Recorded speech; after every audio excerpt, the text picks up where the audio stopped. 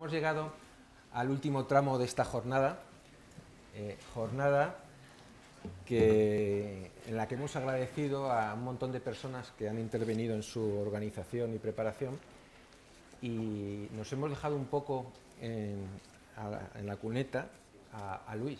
Luis Palomino la verdad es que ha sido la persona que tuvo la idea y la que ha gestionado durante estos meses eh, la mayor parte de la organización.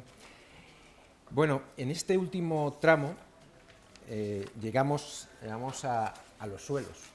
La ley eh, se llama Ley de Residuos y Suelos Contaminados y, parece que es una ley sola de residuos y que el tema de los suelos, y valga la redundancia, es un tema residual, porque se ha hablado bastante poco de los suelos, incluso en la presentación, que era más global, se ha hablado poco de los suelos y nos lo han dejado ahora para este ratito.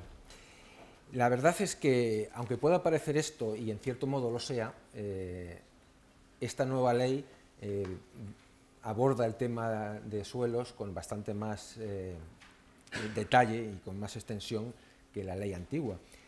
Y aunque aquí tengo expertos que van a abordar diferentes temas, no resisto la tentación de, hacer un breve resumen de los temas que yo creo que, que debemos de tratar y que son más más llamativos de esta nueva normativa. En primer lugar, eh, se plantea la posibilidad de suspensión de la edificación en tanto se descontamina un suelo. Yo creo que es un tema que a lo largo de, la, de, las charlas se deberá abordar. Además, eh, son temas eh, con un perfil jurídico relativamente importante y tenemos un abogado de prestigio que lo puede abordar. También el derecho a repetición es otro, otro concepto jurídico. Se aborda el concepto de repetición con ciertos límites. Eh, bueno, no entro más, eh, yo creo que a lo largo de, las diferentes charlas se puede, se puede entrar en detalle. En detalle. Se eh, incluye un concepto nuevo que es el de la descontaminación voluntaria, también con, con una eh, casuística muy, muy, concreta que debemos abordar. Eh, se cambia, en el caso de que no esté identificado el causante de la contaminación, se cambia eh, la responsabilidad hacia, hacia el propietario, desde el titular que era antes. También creo que entre todas las charlas debemos de dar diferentes visiones de este tema.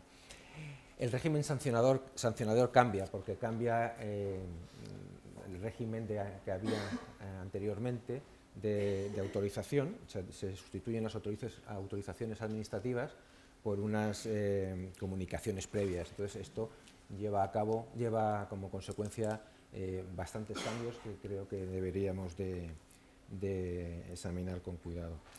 Después también se deberían de hacer algunas menciones a las excepciones derivadas de la defensa nacional. A ver qué repercusión puede tener esto. Se establecen eh, obligaciones informativas en, el anexo 11.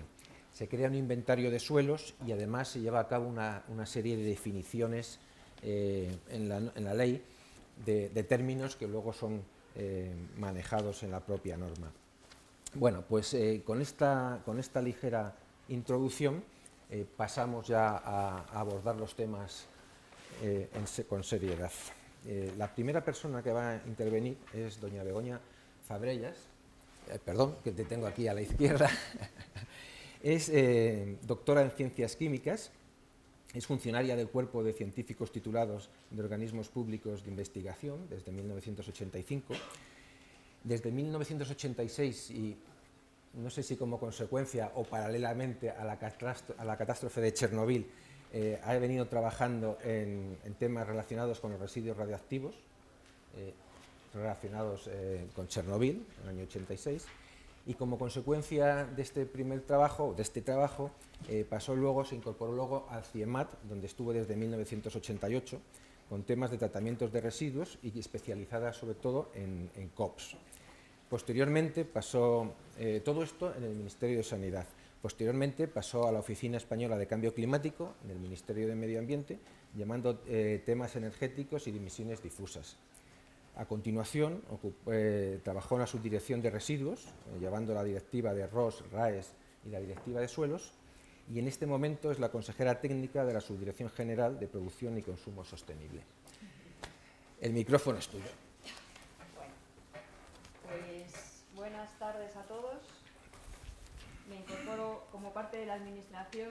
¿eh? Esa, la anterior charla era muy de empresarios ¿eh? y ahora pues eh, retomo un poco qué papel hace la Administración en materia de suelos contaminados.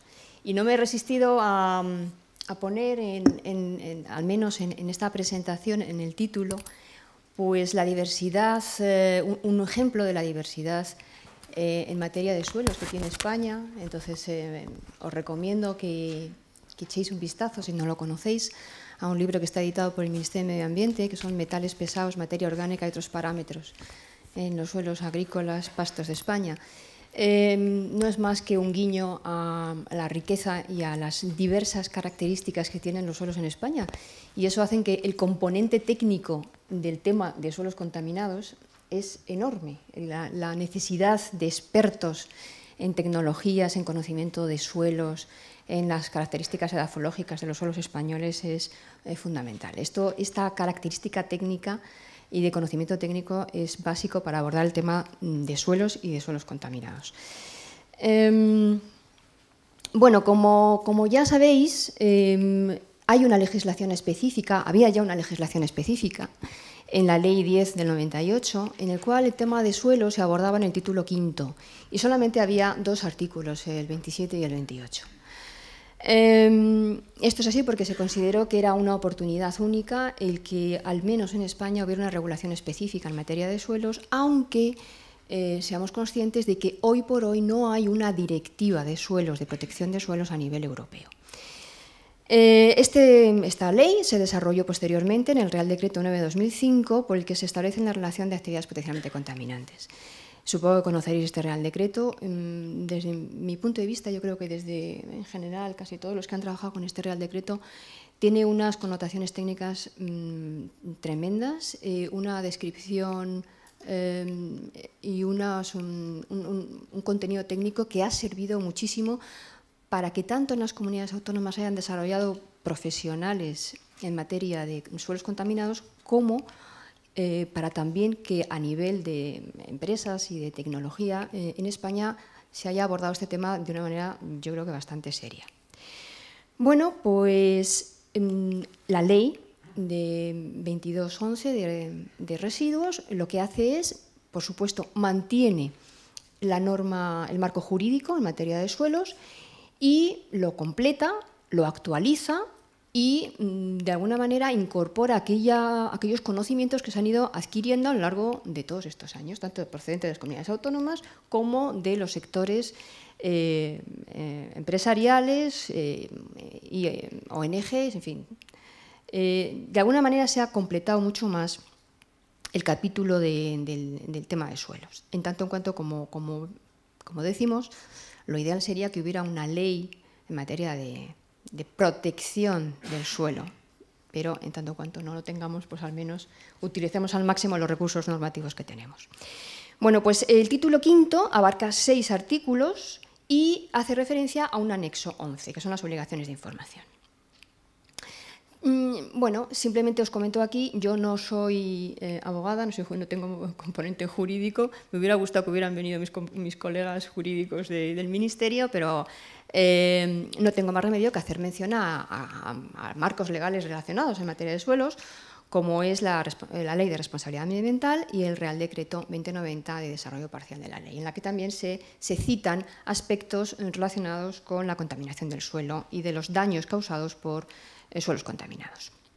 En cualquier caso, siempre se busca una um, armonización de los criterios recogidos en el Real Decreto 9 de 2005. Bueno, también hay una referencia en la Ley 8-2007 de 28 de mayo del suelo, porque em, aquí las políticas públicas relativas a la regulación, ordenación, ocupación, transformación y uso del suelo se dice que tienen que tener en cuenta la protección del medio ambiente, contribuyendo a la prevención y la reducción de la contaminación, y también en materia de suelo. Eh, también el tema de suelo se aborda en, la contaminación de, aguas subterráneas y, por supuesto, eh, la única referencia que tenemos en materia europea es la estrategia temática para la protección del suelo. la protección del suelo. Nosotros solamente, de alguna manera, tenemos una parte de estas herramientas de protección del suelo que es eh, el tema de suelos contaminados. El resto está bastante diversificado. Quizá en un ejercicio futuro podamos abordar el suelo desde todas sus perspectivas, pero hoy por hoy es lo que tenemos. Bueno, echando un vistazo atrás, ¿qué es lo que teníamos en la Ley 1098? Se obliga a la descontaminación de los terrenos declarados contaminados, se habla, se prescribe la evaluación de riesgos para la salud humana y los ecosistemas como el método para declarar un suelo contaminado, eh, hay un listado de actividades potencialmente contaminantes, hay un criterio de cascada, en fin. Estos son los elementos eh, anteriores en la ley 1098. Bueno, pues voy a citar brevemente cuáles son los artículos eh, de, la nueva ley relacionados con suelos contaminados y he mm, coloreado en rojo aquellas novedades respecto a la anterior legislación. Bueno, pues el artículo 33, empezamos con las actividades potencialmente contaminantes. Se aprueba, el Gobierno aprobará y publicará una lista de actividades potencialmente contaminantes de suelos. Es decir, la actual que se encuentra en el Real Decreto se modificará o se analizará. ¿De acuerdo? Bueno, eh, efectivamente los titulares, al igual que anteriormente, de estas actividades se deberán de remitir una serie de informes a las comunidades autónomas de manera que puedan servir de base como conocimiento o posible declaración de suelos contaminados. Bueno, pues una vez que ya se tienen estos datos, eh, las comunidades autónomas, en el artículo 34, mm, eh, que se titula Declaración de suelos contaminados, bueno, pues las comunidades autónomas declararán o delimitarán, si es así, que se lo consideran adecuado, los eh, suelos que puedan estar contaminados siempre atendiendo a los riesgos asociados y a su naturaleza y al uso que se le dé a ese suelo. Importante, una novedad, ya vamos a armonizar cuáles son la información que ha de tener eh, contenida esa declaración de suelo eh, contaminado. Entonces nos referimos al anexo 11, a la parte 1 del anexo 11. Datos básicos, pues datos generales, datos específicos del suelo contaminado, datos específicos de la recuperación ambiental que la comunidad autónoma considera necesario y en el caso de que esa descontaminación se lleve a cabo, pues la baja en el inventario de suelos contaminados. ¿Qué supone una declaración de suelo contaminado? Obliga a realizar actuaciones necesarias para proceder a su limpieza. Y, como ya apuntaba el moderador, como novedad, puede, puede comportar, en algún caso, la suspensión de la ejecutividad de los derechos de edificación u otros aprovechamientos del suelo, en el caso en el que resulte incompatible con las medidas de limpieza y recuperación de suelos, que parece, en principio, a no ser que vosotros consideréis otra cosa, bastante razonable. ¿no? Bueno, el artículo 35, una vez que ya se declara, se inventarían, es decir, las comunidades autónomas ya en la anterior eh, ley, en, el Real Decreto, dicen que han de delimitar y hacer inventarios autonómicos. Bueno, pues de alguna manera también vamos a armonizar el contenido de al menos un contenido mínimo de esos inventarios, de manera que el inventario estatal tenga una, digamos, una fácil composición, simplemente por agrupación de los inventarios autonómicos. Bueno, pues eh, también se nos referimos al anexo 11, eh, tanto el apartado 1 como el apartado 2. Es decir, hay una información referida a la cantidad y evolución de los informes de situación, los procedimientos relacionados con los suelos contaminados, es decir, qué actividad se lleva en esa comunidad autónoma en relación con, los suelos contaminados. Y un capítulo que hemos considerado interesante, porque también es una información que en, Bruselas y en la Comisión Europea se baraja, es decir, qué, mm, perfil económico va detrás del tema de los suelos contaminados. Es decir, qué inversiones se hacen en los países, qué inversiones se hacen por las empresas, por los ayuntamientos, por los implicados. Es decir, el aspecto económico es tremendamente importante. Por eso hemos considerado que esa información podría ser relevante el tener una idea de, cuál es esa inversión en, descontaminación de suelos. Esto se mantiene, es decir, las comunidades autónomas elaborarán una lista de prioridades de actuación, porque son las comunidades autónomas las competentes en materia de suelos contaminados, en materia medioambiental, y cuando eh, la comunidad autónoma considere que ese suelo eh, ha dejado de estar contaminado porque se haya procedido ya a ese ejercicio de descontaminación en base a un proyecto de descontaminación, pues eh, de alguna manera da de baja en el inventario este suelo. Bueno, hay alguna variación. En el artículo 36, los sujetos responsables a la descontaminación, ya se ha comentado anteriormente por lo moderador, hay un cambio en las responsabilidades cuando no se, cuando no se, conozca el causante, em, de tal manera que, o también hay una, obligación solidaria y subsidiaria, eh, de manera que Primero serán los propietarios, los responsables y luego los poseedores. En el caso del dominio público se mantiene el anterior orden, el poseedor y el propietario. Esto fue una petición de algunas comunidades autónomas porque eh, el propietario siempre se tiene identificado, mientras que algunas veces el poseedor pues, desaparecía. Eh, en el caso de los, mm, en, los apartados 2 de este artículo 36, se dice que los responsables subsidiarios podrán repercutir el coste de las actuaciones de, descontaminación siempre y cuando mm, estos costes de descontaminación no pueden exigirse por encima de los niveles de contaminación asociados al uso del suelo en el momento en que se produjo esa contaminación por el causante. Es decir, no puedes pedir que descontaminen a un nivel que previamente no estaba utilizándose ese suelo para ese uso, ¿no? más o menos.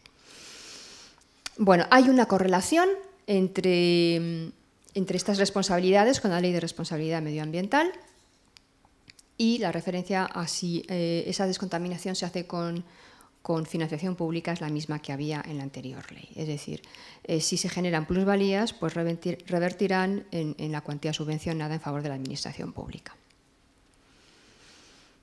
Bueno, el artículo 37 básicamente se mantiene igual, es decir, reparación en vía convencional, se pueden establecer convenios de colaboración con las comunidades autónomas y eh, se hace mención a la ley de contratos previstos en la ley 30 de 2007. En principio, mm, lo único que se hace es actualizar este régimen de contratos. Y un artículo 38 que es novedoso es la recuperación voluntaria de suelos, Em, en el cual mm, se indica que la descontaminación de un suelo para cualquier uso previsto, el actual o cualquier uso que la comunidad autónoma considere adecuado, puede llevarse a cabo sin la previa declaración del suelo como contaminado. Es decir, tampoco significa esto que lo que se obliga de repente deje de estar obligado. Es decir, no significa que el resto de artículos desaparezcan aquí las obligaciones desaparezcan, sino que existe un concepto de voluntariedad. La voluntariedad, como decimos, en principio la, eh, idea del legislador es que si es algo voluntario, es, algo voluntario, va más allá de lo obligado. En cualquier caso, esto quedará siempre en manos de las comunidades autónomas. De tal manera que se acompañará un proyecto de descontaminación, la comunidad autónoma lo seguirá, lo evaluará, lo aceptará, se producirá esa descontaminación y quedará registrado en un registro administrativo de tal manera que no se pierda la trazabilidad de ese suelo, es decir, que se garantice una información ambiental. Estos son, yo creo que los elementos mm, más importantes, eh, simplemente he citado en los, artículos referidos, eh, básicamente será necesario modificar el Real Decreto 9-2005. Mm, se mantendrán seguramente los mismos usos, las actividades potencialmente contaminantes se analizarán porque eh, creo que tengo aquí un, plano, este, esto es un ejercicio sobre las cuales son los, informes preliminares de situación que han recibido las comunidades autónomas en base a las actividades potencialmente contaminantes. Hombre, una visión rápida, intuitiva de este mapa nos indica que son excesivas, es decir, lo que hay que hacer es un análisis, trabajar con eficiencia, mejorar la eficiencia, ver realmente que las, cuál es, la opinión de las comunidades autónomas en decir, bueno, pues este es el listado de actividades potencialmente contaminantes a la luz de la, de la experiencia adquirida y tenemos que quitar cargas administrativas y concentrarnos en aquellas actividades que son realmente relevantes. ¿no? Eh, como digo, es uno de los principales elementos de cambio de este Real Decreto, será modificar estas, estas actividades potencialmente contaminantes y desarrollar mm, eh, más puntualmente aquellos artículos de la ley. Y yo creo que, poco más. Eh, estos son rápidamente cuáles son las modificaciones. Pues muchas gracias, Begoña, por el esfuerzo de síntesis que has tenido que hacer. Y a continuación toma la palabra María Jesús Kaiser. Toma la palabra. Ah, entonces no tomas el micrófono. Eh, María Jesús es licenciada en Ciencias Químicas por la Universidad Autónoma de Madrid, es posgrado en Hidrología Subterránea por la Universidad Politécnica de Cataluña y máster en Administración de Empresas por la UNED y eh, desarrolla su actividad profesional en el grupo FCC dentro del sector de medio ambiente industrial. En la actualidad ocupa el puesto de directora técnica de desarrollo de la División de Residuos Industriales, siendo la responsable del Departamento de Descontaminación de Suelos del grupo FCC. Eh, en cuanto encontremos la, presentación, tiene la palabra.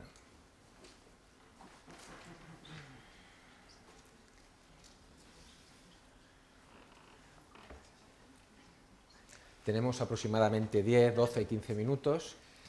Bueno, pues eh, lo cumpliré. Buenos días a todos. Agradeceros que os quedéis a, estas horas para oír esta parte de suelos contaminados y, poco más que deciros. De la primera transparencia, yo quería resaltar un hecho y es que la asociación ASEGRE lleva 20 años en el, sector.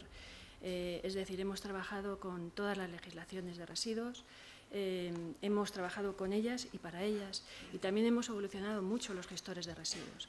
Primero voy a hablar como gestor de residuos y luego hablo como, como empresa de descontaminación de suelos. ¿no?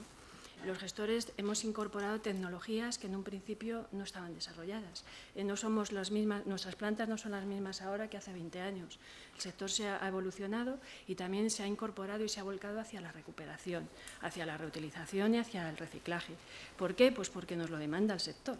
Eh, nos lo demanda el sector industrial, nos lo demandan nuestros propios clientes y por lo tanto hemos tenido que hacer un esfuerzo, de adaptación dentro de, descontaminación. yo quería decir eso un poco por, defender a los gestores, ¿no? porque aquí parece, lo ha comentado antes también Vicente, los gestores, los residuos, los vertederos, parecen instalaciones siempre o parecemos un poco los culpables ¿no? de, la, situación. No, somos un agente más, estamos en, en este negocio y necesitamos subsistir, eh, trabajar y, estamos además muy, muy eh, regularizados.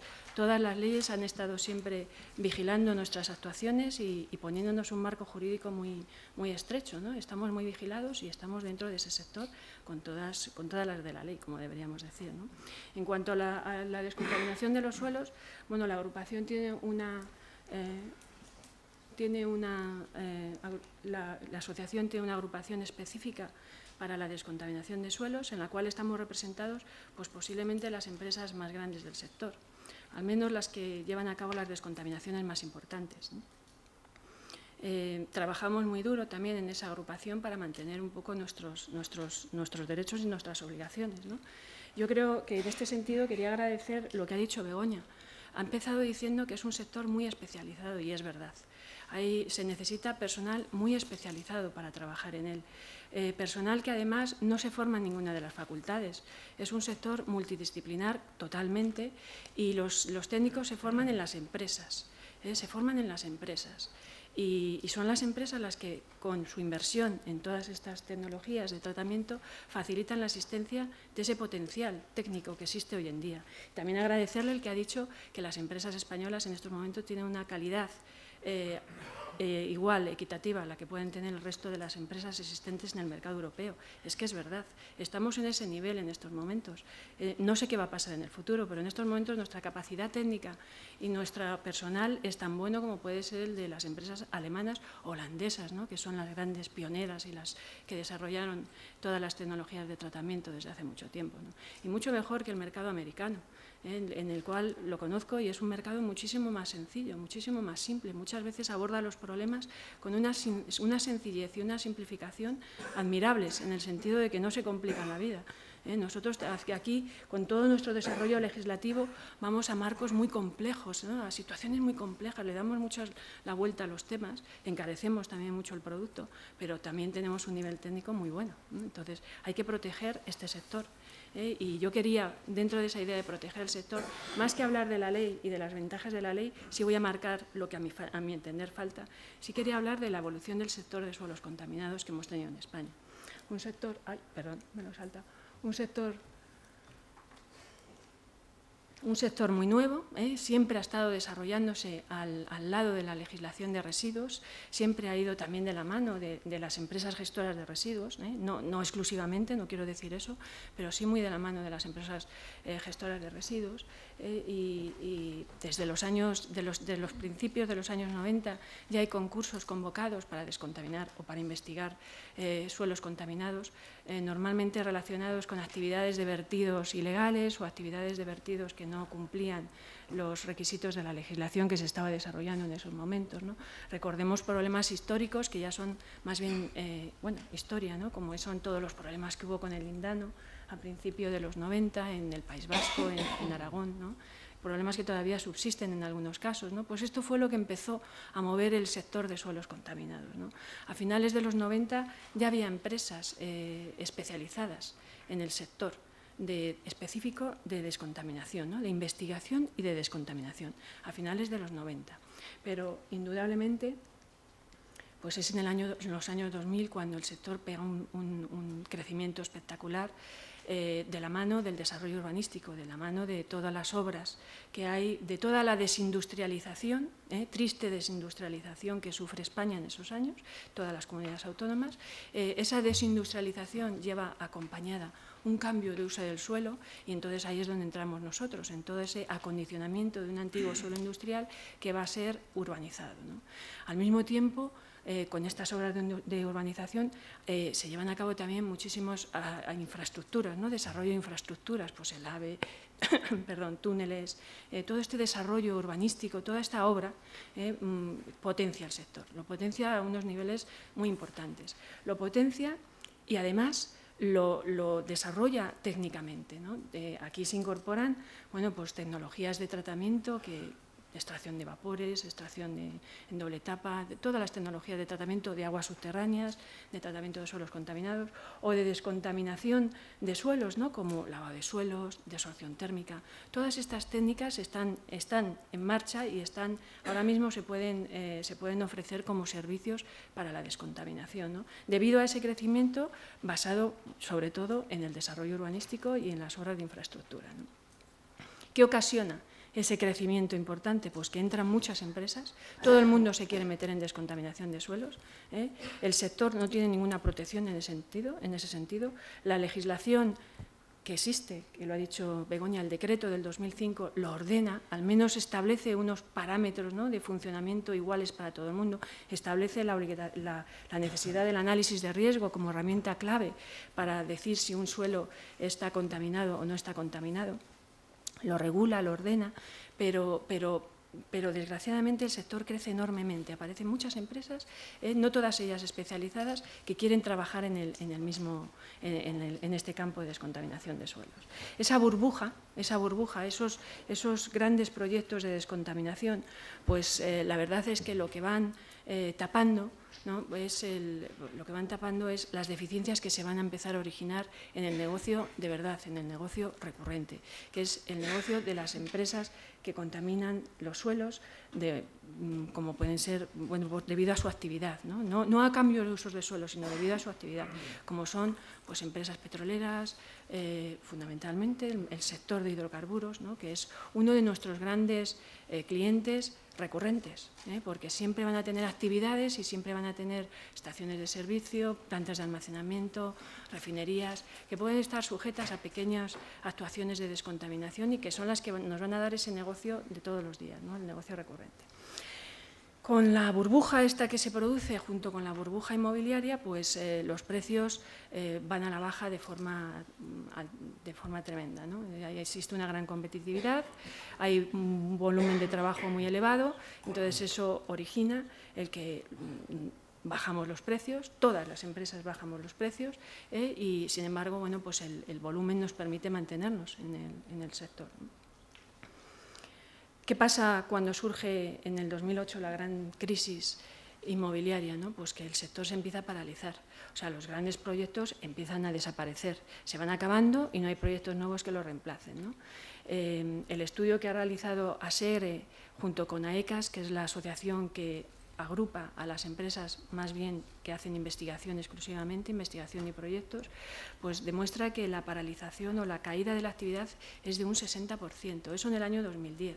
Yo creo que en el 2011 es todavía mayor y las expectativas para el 2012 son tremendamente malas. ¿Eh? tremendamente malas, porque estamos en un, en un estamos, si el mundo de los residuos ya es un mundo residual, el de la descontaminación de los, de los de suelos todavía es más residual. O sea, se abordan estos problemas cuando es necesario por algo, o bien porque se está afectando a un tercero, o bien porque va a haber una, una necesidad por un cambio de uso del suelo, por una, por una situación específica. Entonces, las previsiones para el 2012, malísimas, malísimas. Eh, eh, no hay actividad inmobiliaria, no hay actividad de obra, o sea, lo único que nos queda es lo que decía antes, el negocio recurrente. Este negocio recurrente que también está en crisis, ¿eh? que también está en crisis y que además todavía bueno, pues exige una calidad de servicios muy alta y sin embargo no paga esa especialización que decimos, no lo paga. ¿Eh? no lo paga. O sea, nos, pide contratos llave en mano con un riesgo altísimo y no paga tampoco por, el riesgo que estamos asumiendo, ni está afrontando tampoco pues que todas esas tecnologías que se están incorporando, que son muy caras, son muy caras y que necesitan esa especialización del personal. Entonces, la situación, yo creo que ya lo he dicho, es muy difícil. Yo la veo muy difícil y, confirmo las palabras que decía Antonio al principio de la presentación. ¿no? La situación en general, las empresas que pertenecemos a SEGRES, la vemos complicada. ¿Qué cabe esperar? ¿Cómo seguimos adelante? Pues yo creo que es absolutamente necesario una un reordenamiento del sector. ¿Y eso qué quiere decir? Pues había mucha oferta, hay muchas empresas que hacen descontaminación de suelos. No hay ninguna eh, regularización, no hay ninguna definición siquiera de, la, en la parte de descontaminación de suelos en la ley solamente se define qué es suelo contaminado, nada más, por lo menos eso es lo que yo he podido ver. Solamente se define qué es suelo contaminado. Se establece en el artículo quinto una serie de obligaciones de quién tiene que descontaminar, de cómo se hacen esas descontaminaciones cuando se va de la mano de la Administración, que no siempre es así, hay mucho trabajo que no pasa por manos de la Administración y eso no quiere decir que se haga mal, se hace también bien, pero eh, sin embargo el sector no está regularizado. O sea, a mí me parece eh, asombroso que se vaya a establecer unos requisitos para ser negociante que no sé qué es, no sé qué es ser un negociante, para ser un agente que tampoco sé qué es un negociante y sin embargo en el campo de la descontaminación de suelos no se esté hablando de crear algún tipo de acreditación, homologación a unos servicios que son muy especializados y que excepto algunas comunidades autónomas que sí que tienen personal que conoce eh, el sector, hay muchas comunidades autónomas que no tienen ningún técnico especialista en suelos contaminados ¿eh? y, y, muchísimas empresas que cuando tienen un problema no tienen ningún eh, técnico especializado en suelos los contaminados. Casi todas ya tienen técnicos especializados en gestión de residuos, porque lleva, mm, es una actividad genérica que sucede siempre y que todas las empresas, bien o mal, generan residuos, ¿eh? pero no todas contaminan los suelos. No todas, y no todas se enfrentan a una situación de contaminación de suelos. Entonces, dentro de ese sector que es tan específico, aquí no aparece ningún ordenamiento, no aparece ninguna acreditación, no, aparece ningún tipo de, homologación necesario para que una, empresa desarrolle su actividad en el campo de la descontaminación de suelos. A mí eso me parece bueno, preocupante preocupante, ¿eh? preocupante, porque no, no, no hay. ¿eh? Los negociantes estarán regularizados, nosotros no. Entonces, no, veo esa protección que sería importante, esa protección de unos servicios que se están ofertando, no la veo que de alguna manera se, recoja en el nuevo desarrollo de la ley. Necesitamos mantener el nivel técnico de las empresas, necesitamos mantener esta oferta ¿eh? Eh, que, tenemos en estos momentos. Espero que la ley sirva para consolidar el sector. Para mí es importante que exista el título quinto en la ley. O sea, ya solamente con eso eh, la ley es buena es buena porque recoge al menos las actividades de descontaminación de suelos y las vuelve a, regularizar, las mejora, establece nuevas figuras, establece eso es positivo. Le echo falta a ese otro desarrollo en cuanto a, a que no todo el mundo puede hacer descontaminación de suelos, no todo el mundo puede hacer una investigación de suelos, no todo el mundo puede hacer un análisis de riesgos tampoco. Por último, bueno, a mí me gustaría mm, que, el, negocio, que, fuéramos capaces entre todos de, mantener la oferta de servicios eh, y de recuperar un poco el mercado, de, que realmente eh, la tecnología que se está ofreciendo, pues que se vea a su vez bueno, pues, pagada. Es decir, que, las propias empresas productoras o generadoras de este tipo de problemas vean que necesitan pagar más de lo que hasta ahora estaban pagando para poder descontaminar los suelos. Hace, a principios de año estuve participando en una jornada internacional en Barcelona para, entre el mercado holandés y el mercado español. Eh, no os podéis imaginar la sorpresa, ¿no? porque muchas veces estamos metidos aquí en el día a día ¿no? y estamos todos aquí, y no os podéis imaginar la sorpresa que, te llevas cuando ves que el mismo trabajo que estás haciendo en España, el mismo trabajo, pero exactamente igual, es decir, con el mismo número de pozos, con las mismas técnicas de descontaminación, con los mismos problemas y con los mismos técnicos, en Holanda se paga diez veces más por hacer lo mismo, ¿eh? por hacer lo mismo. Y además no lo hacían mejor, porque nosotros expusimos una serie de casos, estuvimos hablando, bueno, nosotros en el mercado holandés hemos colaborado mucho tiempo con empresas holandesas y, la sorpresa, en España normalmente nunca decimos lo que cuesta una descontaminación, nunca lo decimos. O sea, es un sector un poco opaco en ese sentido, ¿no? No decimos ni lo que nos cuesta descontaminar, ni cuánto dinero nos hemos gastado hemos facturado en descontaminación, porque además está siempre sujeto a la confidencialidad ¿no? que nos exigen los, nuestros propios clientes. Pero claro, cuando ves que los demás hablan de eso y, y ves y comparas y dices, ostras, es que están pagando diez veces más por el mismo trabajo que yo hago en España. Yo no digo que haya que pagar diez veces más, ¿eh? no digo eso, pero lo que sí que es verdad es que el mercado aquí está eh, en unos niveles que, es, que si sigue así, eh, yo pienso que desaparecerá pienso que desaparecerá. Entonces habrá que tirar de empresas, eh, de empresas extranjeras pues, para poder hacer estos trabajos de descontaminación y se perderá el potencial que existe ahora. Así que espero colaboración por parte de las administraciones para mantener una actividad. No, no pido protección ni subvenciones, no, no, no, solamente colaboración para mantener una actividad eh, eh, como es la de descontaminación de suelos. Nada más. Pues muchas gracias, María Jesús. Te agradezco el esfuerzo que, estáis haciendo por, ceñiros al tiempo, aunque eso pensamos un poquito.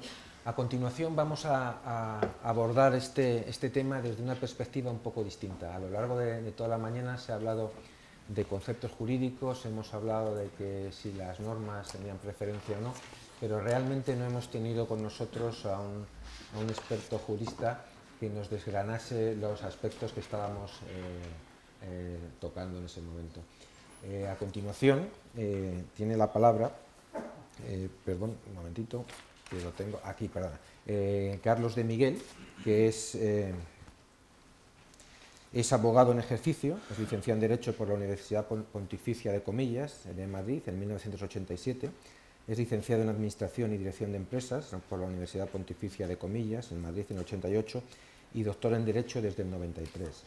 Pertenece al Colegio de Abogados de Madrid, también a la International Bar Association, a la Unión Internacional de Abocat y a la American Bar Association. Eh, Carlos eh, presta sus servicios profesionales en este momento en la oficina de Madrid de Uría Menéndez, en la que se incorporó en, 1988 y de la que es socio desde 2002. Eh, desarrolla su, su labor profesional en el ámbito del derecho ambiental aunque también asesora en derecho inmobiliario y en derecho energético. Lleva a cabo asesoramiento ad hoc en operaciones mercantiles, pero también en, litigios. Es, abogado de infantería también eh, ante los tribunales eh, administrativos, civiles y penales, además de elaborar, multitud de, de informes sobre cuestiones ambientales para diferentes ámbitos. Tienes la palabra.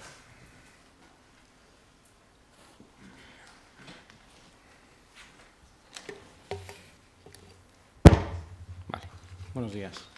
Bueno, yo como tenemos, como tengo 10 minutos, voy a ir muy al grano. Em, es decir, me voy a meter en, cuestiones muy, muy concretas. Em, y claro, para eso, lo de estar después de alguno tiene la desventaja de que le pisan algunas cosas, tiene la ventaja de que ya habla sobre lo que han hablado otros. Em, y digo, porque me voy a centrar en, fundamentalmente en tres puntos uno muy introductorio, eh, Begoña decía eh, que esto tiene una componente técnica muy importante, por supuesto que la tiene. yo lo que, claro, además soy abogado, tengo que barrer para casa, eh, no nos podemos olvidar de que la cuestión jurídica, para mí por lo menos, como menos es tan importante. como la técnica. yo siempre lo digo, yo no puedo trabajar solo, yo tengo que trabajar con técnicos. Creo que los técnicos tienen que ser conscientes de que tampoco pueden trabajar solos, tienen que trabajar con los jurídicos porque luego los conceptos se, se, pierden y probablemente se malinterpretan, y malinterpretar significa aplicar mal, aplicar mal las normas. Em, pongo algunos ejemplos, aunque estoy saltando al cuarto punto final que quería ver. Em, yo creo que la, ley, en, el punto de, en, lo que se refiere a los contaminados, no ha introducido grandes novedades, son, son mucho de lo que se dice aquí, ya estaba en la ley del 98. Quizá precisamente por eso también hay alguna oportunidad que se ha perdido, de cosas que estaban, en mi opinión, mal en la, en la ley del 98 y que en esta ley pues siguen estando mal para mí. ¿no? Eh, por ejemplo, em, se sigue haciendo tabla rasa de suelos contaminados, da igual que fueran mm, suelos contaminados hace un año, que hace cinco, que hace 50, que hace 100 o hace 2000. Mm, la ley aquí no pone, no pone límite, no pone diferencia. Hay alguna sentencia, también debo apuntar, que va por ese camino de establecer algún criterio diferenciador entre contaminación histórica, contaminación no histórica, eh, que es bastante de malabarismo, porque claro, la verdad es que la ley no, no ayuda a nada y yo creo que hubiera sido una buena oportunidad para hacerlo. Y esto, por ejemplo, digo, tiene que ver con lo que está diciendo, son, conceptos puramente jurídicos. Estamos hablando de que no se puede tratar de la misma manera al que hace algo mal sabiendo que ya está mal, que al que lo hizo hace 50 años, cuando a lo mejor venía de la mano del alcalde eh, para aplanar un suelo. Em, tampoco se ha hecho, por ejemplo, diferenciar, eh, ahora volveré sobre eh, la prelación que se ha dicho antes, de responsables de la contaminación, el causante poseedor, propietario o propietario poseedor. Eh, bueno, ¿por qué eh, esa prelación en un momento sí, en otro momento se cambia? ¿Qué significa estos conceptos? Porque jurídicamente lo de ser poseedor, eh, no sé si aquí hay algún abogado, pero, pero tenemos poseedor de buena fe, de mala fe, mediato, inmediato, en nombre propio, en nombre ajeno, tenemos cantidad de, tipos de poseedor. Aquí eso no se mete para nada. Em, y todo eso, bueno, pues un poco dificulta la aplicación. Em, esto como introducción. El segundo punto, que para mí es el más importante, sobre todo porque me, también de nuevo como, operador que estoy en el mercado me preocupa, es la interpretación que se puede estar dando el artículo 38. Si yo te he entendido bien, Begoña, em, y perdona, porque es bueno, o sea, supongo que es la interpretación del Ministerio, em, parece que es eh, recuperación voluntaria de suelos a más de lo que sería la reparación, digamos, ordinaria, siguiendo todo el proceso. ¿no? Em, bueno, eso tendremos, tendremos que ver cómo se aplica al final. Em, para mí esa interpretación no es correcta. Em, yo al final solamente daría dos ideas. ¿eh? Eh, una primera porque el artículo no lo dice. O sea, en ningún sitio el artículo dice que se tenga que limpiar siempre más de lo que se hubiera tenido que limpiar si se hubiera seguido el procedimiento administrativo. no lo dice, de hecho yo creo que más bien va, va eh, puestos a buscar alguna, alguna razón por la que se puso esto, yo creo, y de hecho nosotros estuvimos bastante metidos en, o tratamos de apoyar en lo que pudimos, eh, una norma de este tipo. Em, yo creo que la razón de esto, de este artículo, está precisamente en decir, hay muchas empresas que no se meten en ese procedimiento administrativo, eh, digamos, están fuera de la ley, si se quiere decirlo claramente, precisamente porque hay que seguir un procedimiento administrativo que siempre es largo, cuesta dinero, sobre todo eh, la declaración de suelo contaminado se tiene que inscribir en el registro de la propiedad y eso a muchas empresas le echa para atrás. Quieren limpiar, querrían limpiar de una manera más convencional, que es perfectamente lícito, porque aparte también si hay algún temor, eh, digo porque esto de nuevo es una cuestión muy jurídica, si hay algún temor de, eh, de hacer equivalente convenio con la Administración con conchaveo, eso es absolutamente legal, por supuesto. Es decir, la Administración puede llegar a un convenio con el particular siempre cumpliendo escrupulosamente la ley. Es decir, no podría, y de otra manera más clara, espero, el resultado de este convenio nunca podría ser distinto al que se llegara con una declaración de suelo contaminado. Teóricamente es así. ¿Qué es lo que pasa? Que te ahorras todo el procedimiento administrativo, se hace más rápido. Y evidentemente desde el punto de vista de la empresa te ahorras la declaración formal de suelo contaminado, que eso es bueno. ¿no? Conclusión práctica, em, si vamos por esta vía de interpretar que como mínimo siempre tendrá que limpiarse más de lo que se tuviera que limpiar con la declaración de suelo contaminado, me parece que este artículo quedará en, papel mojado, porque claro, muchas empresas dirán, bueno, para eso que me hagan la declaración de suelo contaminado y ya veremos si la recurro, si no la recurro, etcétera. ¿no? Yo creo que esa no es la finalidad de este artículo. Em, em, y solamente yo diría dos unas pocas ideas más. Em, ya se ha dicho, yo creo que ese sí que es uno de los cambios más importantes de la ley, la prelación de sujetos eh, responsables ha quedado modificada. Sigue siendo primero el causante, como tiene que ser, por supuesto, pero ahora eh, es primero el propietario y el poseedor, en ausencia de causante, primero el propietario y poseedor, eh, antes era poseedor propietario. A mí personalmente creo que es. Nunca se sabe dónde va a estar uno, ¿no? si va a ser primero propietario poseedor. Desde un punto de vista objetivo, eh, abstracto, me parece más lógico que sea el propietario. Eh, el poseedor siempre es más, más contingente, puede cambiar más. lo que sí que no entiendo es que para los bienes de dominio público en régimen de concesión cambie. Sí que lo entiendo, claro, es la propia administración que, la que dice primero vamos a por el poseedor y yo me quedo el último, lo cual eh, algo parecido a lo que ocurría en la ley de responsabilidad medioambiental me parece un privilegio eh, carente de justificación, la verdad. Em, y luego, bueno, alguna cuestión menor, eh, bueno, menor quiero decir, no menor, muy importante, pero para tratarla rápidamente. Sigue habiendo todavía alguna em, duda sobre hasta dónde se tiene que limpiar. Eso lo podemos hablar luego si, si, sale en la discusión. Yo creo que sobre la base de un artículo que se ha mencionado, que es el 36.2, creo que se puede defender perfectamente, y es lo correcto para mí, se tiene que limpiar hasta el uso que se le estaba dando, siguiendo el 36.2, en el momento en que se produjo la contaminación. Yo creo que eso ahí hay muchas posibles alternativas, pero creo que esta es la más razonable. Esa sería una, primera cuestión que habría que eh, aclarar también en la práctica. Segundo, también volviendo a oportunidades perdidas, quizás eh, hubiera sido bueno incluir en la ley una compatibilización entre este régimen de responsabilidad eh, por suelos contaminados con la reordenación urbanística. Y ahí lo digo porque muchas veces las normas urbanísticas apuntan directamente al propietario, saltándose al causante de la contaminación, y eso muchas veces genera tensiones, es decir, bueno, al final, ¿quién tiene que limpiar? Em, eso, ya digo, primero depende de comunidades autónomas, qué legislación sobre suelo tengan.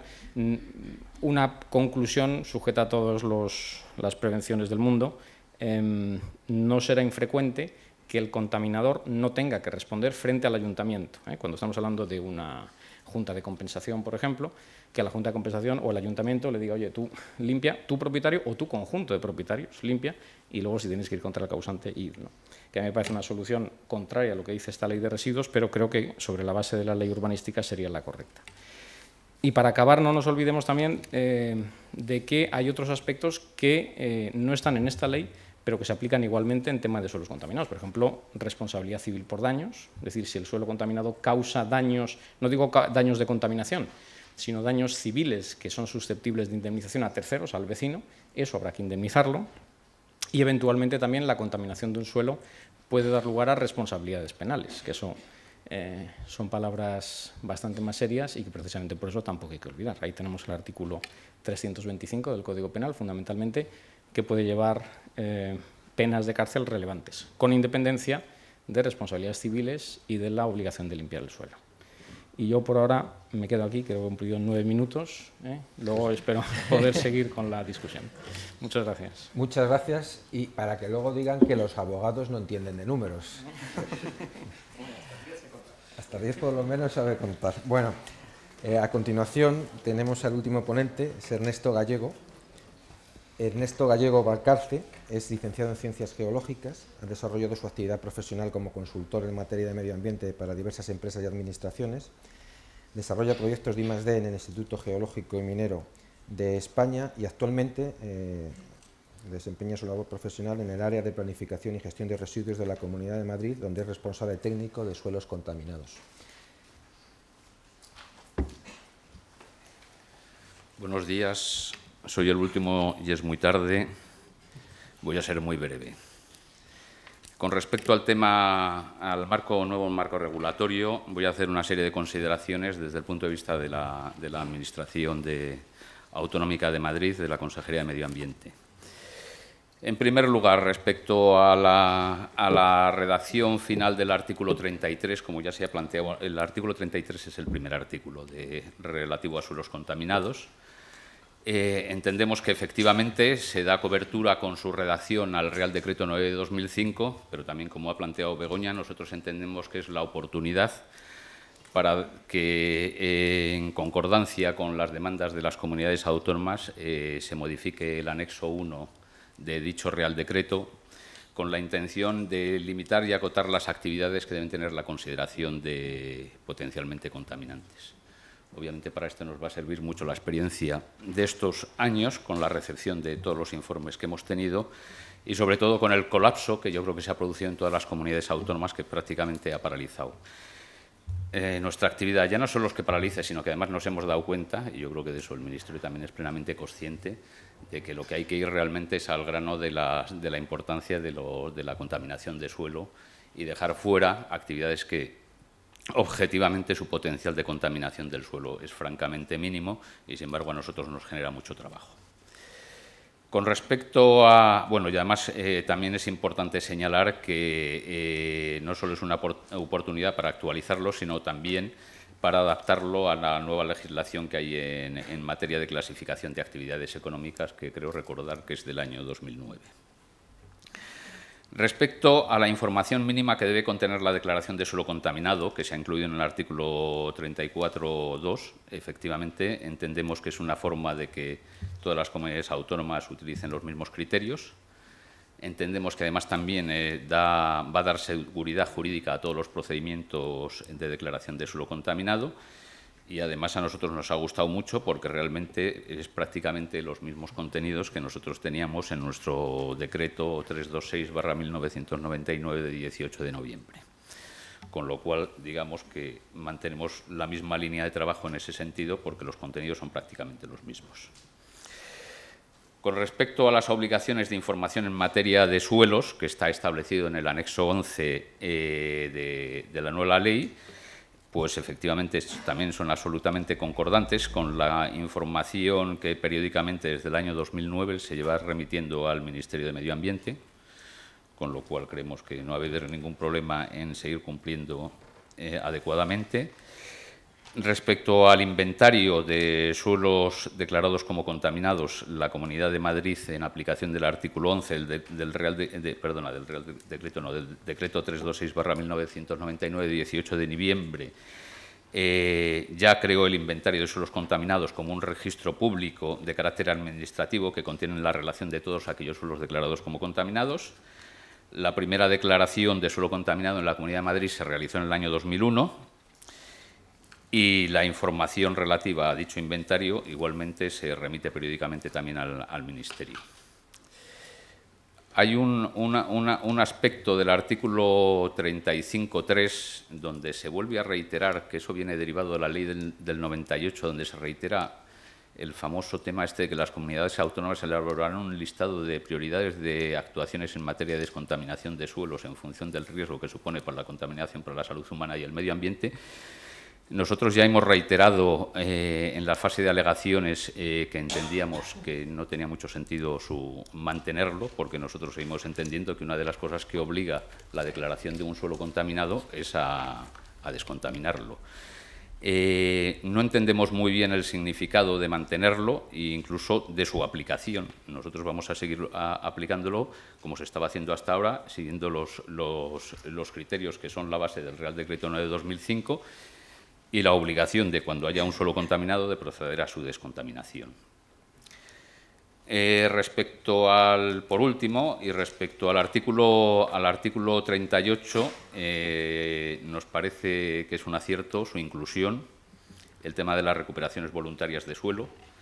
Es un avance y es una aportación importante de la nueva ley y desde la Consejería de Medio Ambiente lo que se está estudiando es para su publicación en la página web la documentación que se debe aportar eh, para su tramitación. Y es un tema que nos corre prisa porque, de hecho, ya tenemos varias solicitudes de descontaminación. Eh, aunque todavía no es definitivo, sí voy a sintetizar que es desde la Comunidad de Madrid lo que se va a requerir para, para la ejecución de descontaminaciones voluntarias. En primer lugar, que haya una solicitud expresa de acogerse al artículo 38 para ejecutar de forma voluntaria la descontaminación. A continuación, se van a pedir los datos registrales y catastrales, los datos registrales a través de una nota simple. Algo fundamental, en el caso de que el promotor de la descontaminación no sea el propietario del suelo, se deberá aportar escrito del titular de los terrenos en el que se manifieste que está conforme con la ejecución de los trabajos previstos en la descontaminación. Esto simplemente es un problema de lógica. Asimismo, en el caso de que el promotor de la descontaminación no sea el poseedor del suelo, deberá aportar escrito del poseedor de los terrenos en el que se manifieste conforme con la ejecución de los trabajos previstos en la descontaminación. De todas formas, nosotros somos conscientes que en un proceso de descontaminación voluntaria porque incluso nos pasan los procedimientos que puede haber problemas eh, jurídicos, denuncias, que aparezcan nuevos interesados, etcétera, etcétera. No cabe duda que eso es un camino por recorrer, ya veremos lo que pasa, pero obviamente nuestra idea es que en el momento que surja un problema de este tipo, se iniciará un procedimiento de declaración de suelo contaminado, que en el fondo da mayor seguridad jurídica a todo lo que es el proceso y, sobre todo a la hora de definir quién es el causante, y se, y se limitarán los problemas. Respecto a, lo que debe contener el proyecto de descontaminación, eh, debe contener simplemente una síntesis de los trabajos previos de investigación de la calidad del suelo y resultados de la evaluación cuantitativa de riesgos, cosa que también es razonable y obvia. Debe tener un estudio de alternativas de descontaminación, como ya se venía pidiendo en esta comunidad autónoma, y después, a continuación, debe haber un proyecto de ejecución de la descontaminación que incluya al menos los siguientes apartados. Una descripción de las alternativas seleccionadas y de las instalaciones necesarias para la ejecución, una delimitación de los suelos a tratar, los objetivos cuantitativos a alcanzar, las tareas a ejecutar y el cronograma de los trabajos. Y después, aparte, se va a pedir un, un, documento aparte, que es la memoria resumen del proyecto de cara a su sometimiento a estudio caso por caso para determinar si procede la tramitación de algún procedimiento de evaluación de impacto ambiental. Eh, como sabrán ustedes, en la Comunidad de Madrid eh, eh, las descontaminaciones de suelos están sometidos a, la legislación en materia de, de, evaluación de impacto ambiental en el caso de caso por caso. Y lo que deben tener el proyecto eh, eh, perdón, el proyecto no, la memoria resumen del proyecto es lo que viene en la legislación eh, vigente, que es definición y características básicas de la descontaminación, estudio de alternativas, un análisis de impactos potenciales en el medio ambiente, las medidas preventivas correctoras o compensatorias para la adecuada protección del medio ambiente y, por último, un plan de seguimiento que garantice el cumplimiento de las eh, indicaciones y medidas protectoras y correctoras contenidas en el documento ambiental. Eh, he sido muy rápido, pero ante la falta de tiempo y la hora que es, casi mejor. Se han planteado aquí toda una serie de temas que, bueno, que son muy conflictivos, pero que yo pienso que lo razonable es que en, el, en la discusión que haya se, se planteen y haya posibilidad de pues muchas gracias, Ernesto. Vamos a em, eh, empezar inmediatamente eh, el turno de, preguntas, pero en lo que lo pensáis, yo voy a plantear la primera. Ahora, eso sí, os animo a que antes de agarrar vuestros bártulos penséis alguna pregunta y la hagáis inmediatamente. Eh, para empezar, en el año 2005, con el Real Decreto 9-2005, empezó un boom de trabajos en temas de suelos. hubo muchos informes preliminares pero eso no ha llegado a más. Y por otro lado, eh, desde entonces hasta ahora, se ha comentado a lo largo de la, mañana, el, volumen de trabajo, el volumen de estudios ha bajado casi en un 60%. ¿Qué se puede hacer en este, en este caso? ¿Contempla la Administración alguna medida para revitalizar esto? ¿Las, eh, empresas privadas tienen alguna idea que proponer a la Administración? Lo planteo ahí y, eh, brevemente, para dar lugar a más preguntas, os ruego que que me contestéis.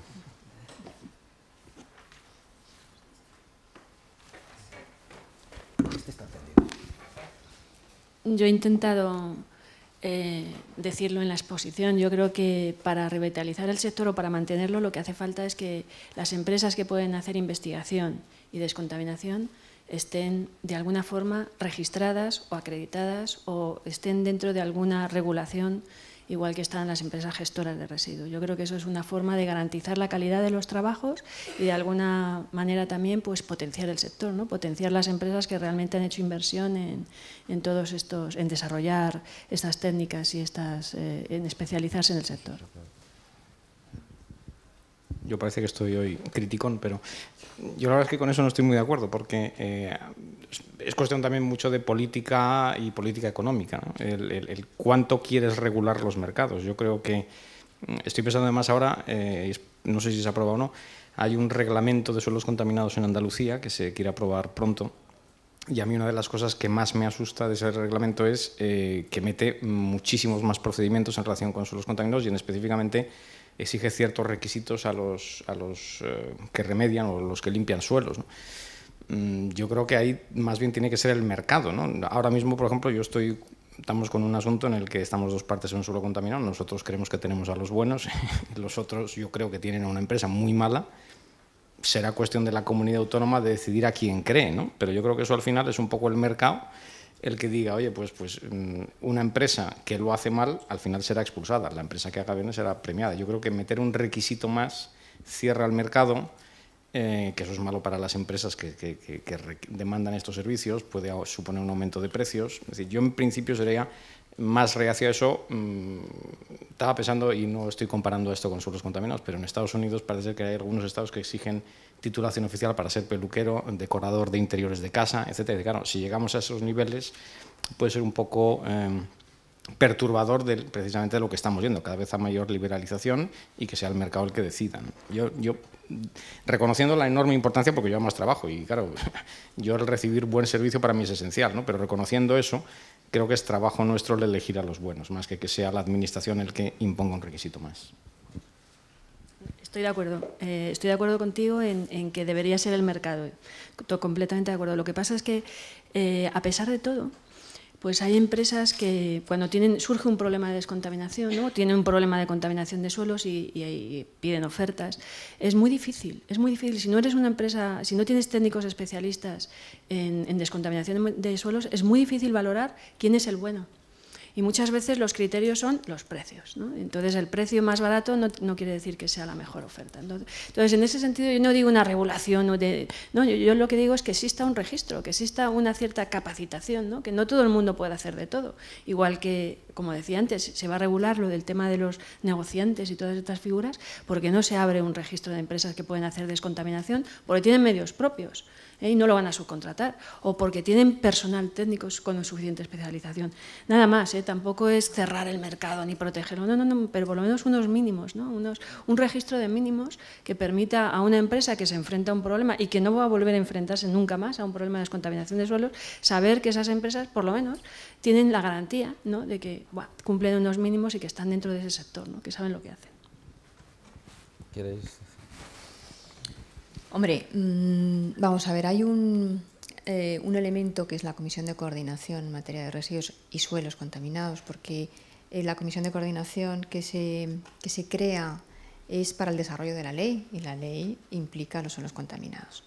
De tal manera que mm, yo creo que independientemente de todo habrá grupos técnicos generados entre las comunidades autónomas y el Ministerio, yo creo que este tema es un tema muy razonable es decir, que se pueden establecer unos criterios mínimos, un registro. Yo creo que eso se puede abordar mm, si eso significa un elemento que vosotros consideráis especialmente importante. Yo no creo que haya problema, no sé qué, te parece a ti, Ernesto en que se pueda hacer un... Fijaros lo, lo dificilísimo que es ponernos de acuerdo en estas cosas cuando llegamos a...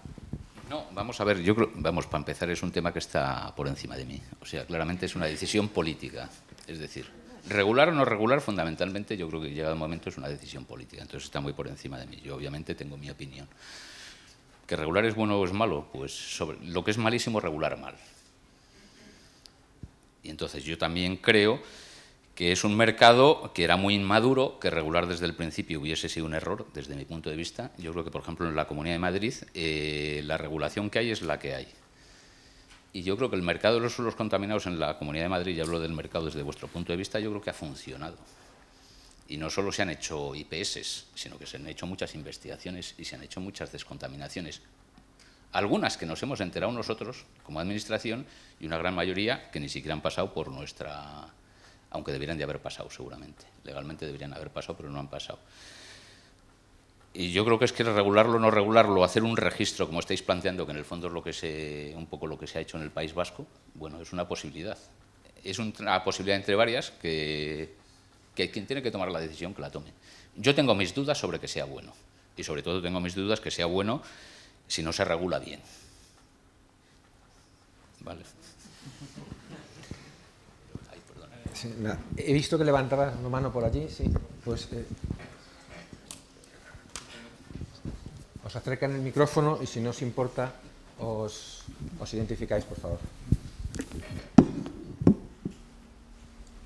Buenos días, soy Enrique Muñoz de Rehabilitación de Suelos. Eh, voy a hacer una pregunta y luego aparte hacer una reflexión a esto último que habéis comentado, en el sentido de que aunque sea un poco duro en el registro, el registro no es una garantía para aumentar la calidad. Yo entiendo que el momento es muy duro para las empresas de rehabilitación de suelos y que poner barreras es la primera tentación y proteccionismo cuando el sector está muy mal.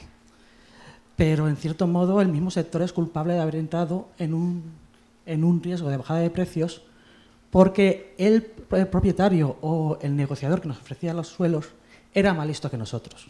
O sea, la empresa industrial ha sabido valorar a la baja y hacer que todo el mundo compitiese para seguir bajando. Y el sector no ha parado en la calidad y ha entrado en ese juego. Ahora que las cosas están muy mal y ni siquiera el sector industrial quiere pagar descontaminación de suelos, estamos en peligro de desaparecer, pero la culpa es nuestra y las barreras no van a ayudar porque pararían las tecnologías. Entonces, no estoy ahí de acuerdo, por muy duro que sea reconocerlo. Entonces, habrá que buscar innovaciones, las fórmulas, pero no una barrera para que otros entren, porque no es automático que las empresas más antiguas o más grandes son mejores siempre, y no siempre las mejores preparadas. Y habría que reflexionar también si los grandes grupos que se quejan amargamente del baremo solo por precio, si compran por algo más que por precio. Y ahora paso a la pregunta.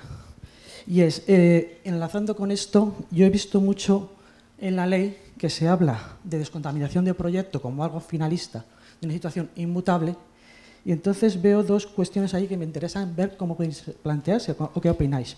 Y es, una vez que yo cierro una autorización de descontaminación un proyecto, ¿qué posibilidad tengo para dejar entrada a mejores técnicas disponibles que sean novedosas, pero que no se enseñan estrictamente al proyecto? Porque eso enlazaría con la innovación, que este es un, sector que depende mucho de la innovación y de la entrada de nuevas técnicas. Y una segunda parte es que da la impresión de que se plantea que la descontaminación entra en ella cuando ha cesado la actividad. Y creo que todos conocéis que nos encontramos muchos casos en que se centra la ley en el, proyecto de descontaminación, pero el titular sigue produciendo y muchas veces el foco no se ha hecho ninguna interacción sobre él y parece que la ley no tiene herramientas para entrar ahí, presupone que tiene que estar en legalidad. Entonces se repite se produce una repetición y repetición de la contaminación. Muchas gracias. ¿Quién de vosotros? Vamos a ver sobre lo que has planteado. Eh, sobre la segunda cuestión, sí es un hecho. Hay en emplazamientos donde hay una reiteración de los procesos de contaminación. Nosotros, eh, como técnicos, siempre, hemos entendido que uno de los objetivos de los trabajos de, eh, de, las, de los de las eh, investigaciones que se hacen en los emplazamientos debe ser eh, efectivamente localizar los, focos de, contaminación y obviamente actuar sobre ellos. ¿Que ese foco vuelva a, funcionar? Eh, sí, efectivamente, puede pasar. Un clásico, un depósito de una estación de servicio. nosotros hay que podemos hacer, llegar a hacer recomendaciones respecto a determinados temas, como que se usen otro tipo de depósitos, etcétera, etcétera. Sí, podemos llegar a hacer esas recomendaciones, pero podemos llegar hasta donde es nuestra competencia. La competencia última en la instalación es de industria, no es de, no es de medio ambiente. Pero a, mí sí me parece eh, interesante y muy importante recalcar el hecho que los objetivos de las, de las, investigaciones es, el primer punto es detectar cuáles son los focos de contaminación y sobre todo si los focos son activos. Y eso lo digo porque a nosotros nos llegan eh, a veces investigaciones donde eso ni se considera. Es cierto que a veces no se considera porque son empresas certificadas que te dicen que eso no tienen por qué considerarlo en su certificación. Nosotros nos quedamos bastante asombrados, pero eso ya es otro problema. Y con respecto a lo que has dicho al principio, eh, la primera pregunta es que, eh, no, no sé si te he entendido muy bien, se sobreentiende que cuando tú planteas un proyecto, lo estás planteando desde el punto de vista de aplicación de las tecnologías que tú consideres oportunas y con un estudio precisamente que nosotros estamos pidiendo de alternativas. Que incluso durante el proyecto, porque eso nos ha pasado, durante la ejecución del proyecto, ahí tiene que haber modificaciones porque ha habido una modificación dentro de de lo que sea y hay que aplicar otras, otras, series de, otras series de medidas, pues obviamente eso se plantea, se justifica y se, ejecuta. En general, que se utilizan las mejores técnicas disponibles, hombre, eh, se sobreentiende, insisto, que hay que hacer un estudio de alternativas y dentro de ese estudio de alternativas siempre se pide una justificación desde el punto de vista técnico, ambiental y económico.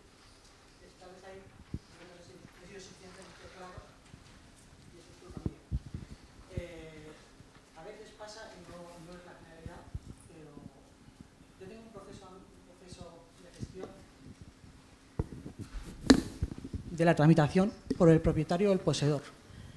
Una vez que yo ya tengo una autorización de lo que tengo que hacer, grandes empresas generalmente lo que hacen es buscar a contratar quien les ejecute. Entonces, se puede dar ahí el caso de que sin eh, perder el espíritu de los objetivos y de las técnicas, alguien se presente una propuesta como un subcontratista para este propietario, para hacer lo que es el trabajo, y le diga, mira, yo no te puedo bajar los precios aquí, aquí, con estas fórmulas, pero tengo esta figura que te abarataría. Entonces te responden inmediatamente, no porque no está en mi autorización y no quiero mover papeles. En ese caso habría alguna fórmula no porque no está, en mi autorización. O sea, lo que es el propio propietario no quiere volver a pasar a la tramitación, dice, no quiero cambiar nada.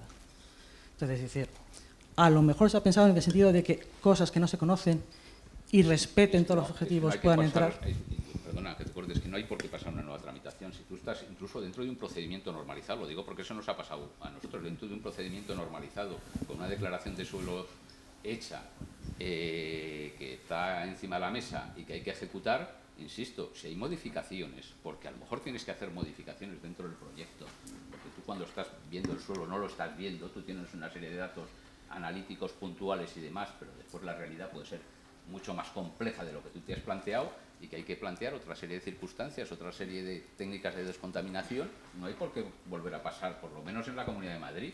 Se notifica, se, mandan los documentos que técnicamente son razonables de modificación del proyecto y el proyecto se modifica. No hay más problemas. Eh, solo por complementar, pero la segunda pregunta, no esta que estaba respondiendo, no olvidéis la ley de responsabilidad medioambiental en cuanto a la atención que hay que prestar a los focos de contaminación, yo creo que ahí perfectamente entra dentro de la obligación de tomar medidas para prevenir el daño. Entonces yo creo que, hay, que eso a lo mejor en la normativa de suelos contaminados específica no está clarísimo, pero como también se aplica la ley de responsabilidad medioambiental, yo creo que no hay ninguna duda de que, de que base legal es suficiente. Suficiente y obligado además. Bueno, estamos fuera de, de tiempo ya, son y 20. Eh, una pregunta corta por parte de alguien. Sí. Pues eh, que las preguntas sean cortas y que las contestaciones también, por favor. Bueno, eh, quizá para Carlos, eh, una de ellas ya la realicé en una, jornada similar con un bufete de abogados, pero no me quedó clara la respuesta. A ver si tú seguramente eres más, más conciso. ¿Cómo, ¿Cómo convive esta ley y la prelación que se establece en cuanto a descontaminación de suelos con la ley de responsabilidad medioambiental que establece la responsabilidad del operador? Esa es la primera pregunta. Y la segunda pregunta es, en el artículo 46, en infracciones, es un agravante el que eh, se realice una actividad sin autorización en un espacio protegido. ¿Qué es lo que entiende la ley por espacio protegido? Es mi, pregunta. Las dos para mí. no, no, no, no, encantado. No, eh, vamos a ver, yo creo que no sé si al 100%, pero desde luego en la inmensa mayoría de los casos yo creo que el operador va a coincidir con el causante. Entonces yo eso me lo planteo, yo creo que mm, la, ahí yo no veo contradicción. ¿eh? Es decir, siempre va a ser el primero el causante y hablando de responsabilidad medioambiental, la ley siempre va a ser eh, responsable el causante barra operador, que ya digo, para mí yo es lo mismo, eh, ¿Qué pasa? Que en el caso concreto son los contaminados, además tenemos una ley especial que te pone otros dos en la cola. Quizá el tema de la contaminación histórica puede ser la excepción, ¿no? lo que comentabas tú. Eh, tú eres operador. Ya me gustaría, pero es que la ley de, la ley de residuos no me deja. La ley de residuos me dice que es eh, causante, propietario, poseedor, siempre. Y, lo que pasa es que en la ley de responsabilidad medioambiental es verdad que no hay responsabilidad histórica, porque no hay retroactividad. Entonces ahí no se me plantea el problema, de nuevo con carácter general. Con la ley de residuos en la mano sí que se puede ir a contaminación de suelos histórica y con esos tres responsables porque no establece excepción. Que a mí esa es otra de las múltiples cosas que se podían haber quizás solucionado un poquito. Es decir, todavía ir contra el causante por contaminación histórica bueno, puede tener muchos, muchos ataques, pero bueno, todavía, pero ir contra el propietario de hoy por algo que se contaminó hace 30 años, bueno, tiene, tiene, yo creo que incluso hasta constitucionalmente en ciertos casos puede tener ataque. Em, y la segunda, ah, lo de los, espacios protegidos, yo ahí mm, también eh, creo que también eso es otra cosa con la que yo no estoy muy de acuerdo. Claro, eso nos lleva a la ley de patrimonio natural y biodiversidad, donde si uno se la lee bien, prácticamente todo está protegido. ¿eh? Con lo cual, mm, pues de nuevo, es una solución que a mí no me gusta, pero tenemos que ir a ello. O sea, yo no creo que estemos hablando solo de espacios naturales o la lista, ni mucho menos la estatal, como mínimo sería todo lo que se diga en la normativa estatal más todo lo que se diga en su caso en la normativa autonómica. Eso como mínimo. Sí, y si no, en lo máximo podemos tener, ya digo, ese concepto de espacio protegido de, la ley esta de patrimonio natural y biodiversidad, que prácticamente todo está protegido, por desgracia. Por desgracia, que me parece que es un poco excesivo. ¿eh? Bueno, pues, eh, ¿alguna otra pregunta? Muy, muy rápida, por favor. Hombre, es una pena cuando las horas que estamos y todavía la gente soporta, pues eh, dar por concluido. Hola, buenas, buenas tardes. Mira, mi pregunta es para Ernesto y bueno y también por, para Carlos. Eh, me preocupa el tema de la recuperación voluntaria del suelo. Eh, los mecanismos de control que tiene la Administración y el plazo, el tiempo que va a durar la, esa tramitación porque, a ver, yo, por ejemplo, como empresa, digo, bueno, ¿qué me conviene, más?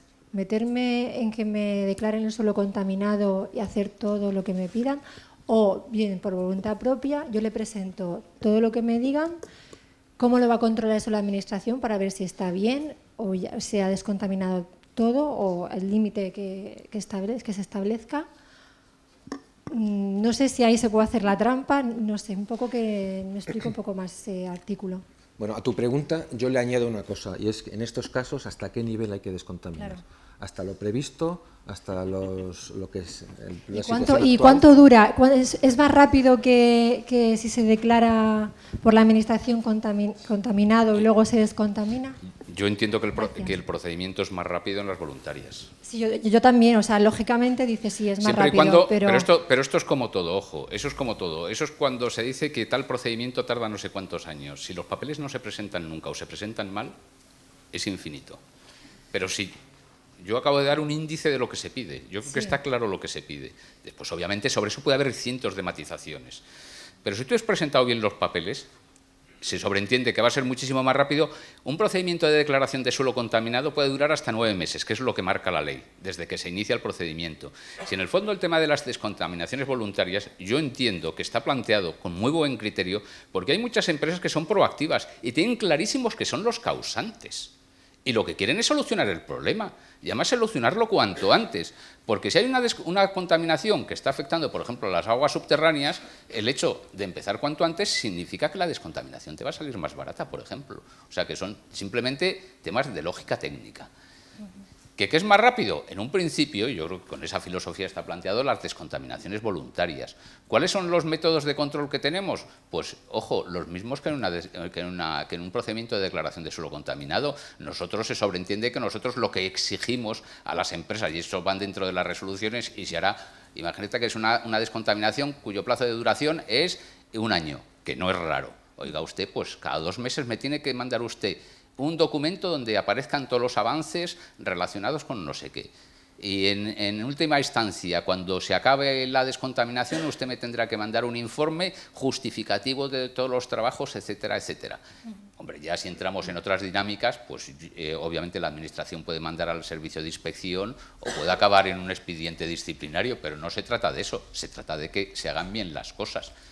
¿Cuál es nuestro criterio? Insisto, oiga usted, cada dos meses, mándame, mándame usted unos documentos que yo les especifico cuáles son, con una serie de contenidos, que yo pueda ver efectivamente que la descontaminación está evolucionando positivamente.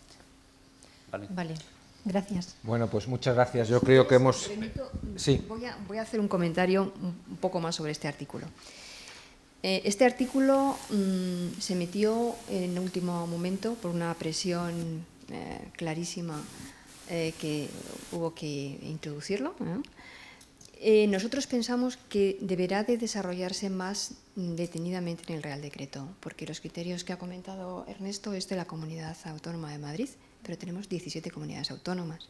Si queremos que el Real Decreto armonice, lo lógico es que de alguna manera nos pongamos todos de acuerdo en desarrollar bien qué es esta, eh, en qué va a consistir y cuáles son los criterios que se van a tomar de manera consensuada, al menos los mínimos, entre las comunidades autónomas. Con lo cual yo creo que la idea es esta, efectivamente parece ser que, se agiliza más y es un beneficio para las empresas, con lo cual, mm, bueno, eso por eso se, se incluyó, porque se consideró que, que en el balance era positivo y esto, pues eh, lo que todos queremos es que se descontaminen los suelos. Lo que pasa que también es verdad que hay que proteger, mm, digamos, la información y que el objetivo final es proteger el medio ambiente.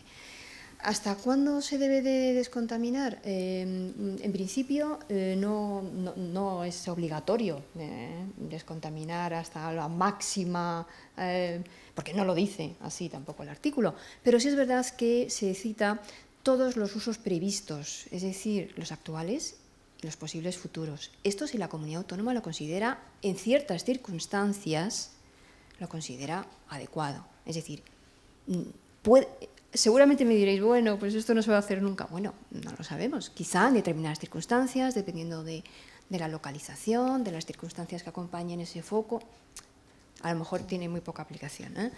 Pero, pero en principio tampoco se va a exigir de entrada unos, unas calidades enormes. Sí es verdad que al ser voluntario, ya que hay beneficio para la, la, empresa que lo, que lo lleva a cabo, bueno, vamos a ver si también puede haber un beneficio para el medio ambiente. No lo sabemos, por si acaso. Pero yo creo que sería cautelosa y yo casi esperaría también a, a que, bueno, que hay algunas comunidades autónomas que tienen mucha prisa, hay mucha, en fin, casi sería lo más adecuado esperar a ver qué opinan también el resto de comunidades autónomas. Entiendo, ¿eh? Para hacer un ejercicio de, en fin, Claro, no, yo es que mi pregunta me he puesto en la, en la parte de empresa, pero que no quiere, o sea, que tiene mala fe. Bueno, ¿sabes? Sí, eh, eh, estamos ya súper fuera de tiempo. Eh, concluye. Mi... No, no, eso yo lo he dicho antes para que quede claro, eh, aunque por supuesto aquí está la Administración, más claro que yo lo pueden decir. este artículo 38 no es una vía para conseguir una solución mejor o más, menos protectora para el medio ambiente que la de la declaración de suelo contaminado. Es decir, la comunidad autónoma nunca podrá hacer nada que sea contrario a la ley ¿eh? y por lo tanto, sea cual sea el nivel de, uso al que se tenga que llegar, se tendrá que llegar con la declaración de suelo contaminado o con un acuerdo convencional. Es decir, esto no es una manera fácil de evitar la ley y eso es ilegal. ¿eh? De la misma manera que digo esto, también digo que para mí no es una manera de ir más allá, tampoco, pero tampoco menos. ¿eh? Es decir, ¿qué pasa? Para mí es más rápido, siempre es mejor ir por las buenas que por las malas, te ahorras costes, todo eso es fantástico. El pretender limpiar menos a través de esta solución, yo creo que eso se equivoca. Bueno, perdón, solo una cosa. El objetivo de una declaración de suelo contaminado es establecer quién es el causante de la contaminación, fundamentalmente. Y después, paralelamente, obviamente, establecer cuál es la técnica de descontaminación que tienen que hacer. Si a mí hay un señor que directamente llama a la puerta y dice, oiga, soy el causante de una contaminación, lo único que me queda por establecer es la parte técnica, que es el proyecto de descontaminación. Pero insisto, el objetivo fundamental de la declaración es establecer quién es el causante. Y de ahí vienen todos los problemas cuando se hacen los procedimientos de declaración de suelos contaminados, porque muchas veces incluso llega a ser imposible establecer quiénes son los causantes. Y sobre todo en casos donde hay contaminaciones históricas. Vale. Bueno, Gracias. son las dos y media y casi empieza a ser ilegal estar aquí. Así que eh, cerramos esta, esta jornada con una última reflexión. El tema de los suelos contaminados no es un tema residual, la ley es ley de, de residuos y, y, suelos contaminados y como tal la tenemos que nombrar, porque hasta ahora eh, casi siempre que se habla de esta ley se habla de la ley de residuos y como demuestra vuestro interés es algo más. Muchas gracias.